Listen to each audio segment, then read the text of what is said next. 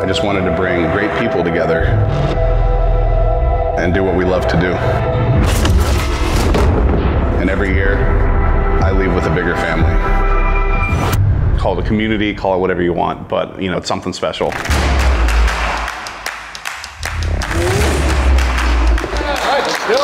It doesn't matter what car you have, it doesn't matter how much money you make, we're all here for the same reason.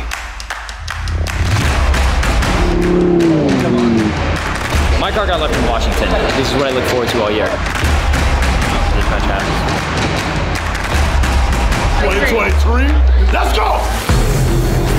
We're not going to let these cars just sit in the garage and waste away. We're going to drive them the way they're meant to be driven.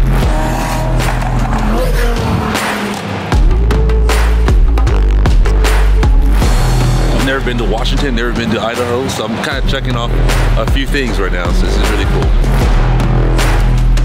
Longtail for me has added more love than I could ever imagine.